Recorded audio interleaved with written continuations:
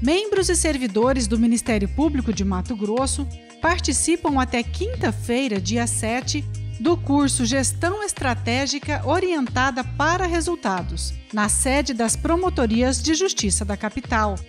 O objetivo é promover um nivelamento e capacitação dos integrantes da instituição das áreas meio e fim, que vão atuar no novo planejamento estratégico, referente ao quadriênio 2020-2023. Estamos aqui trabalhando, né, é, tanto a área técnica, o DEPLAN, é, como também os promotores coordenadores dos CAUS e os procuradores e assessores das especializadas, tudo com o objetivo de buscarmos um alinhamento né, é, para que, a partir do dia 1 de janeiro, este planejamento seja desencadeado de uma forma eficaz, né, é, atingindo os resultados da sociedade que nós almejamos e esperamos. Entre os assuntos em pauta, o processo de formulação e de desdobramento da agenda estratégica, envolvendo a construção dos painéis de contribuição, o desenvolvimento do mapa estratégico, a definição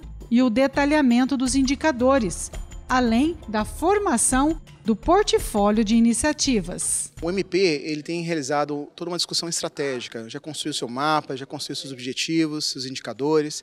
A intenção do curso é passar um conjunto de conceitos para nivelar as pessoas a entenderem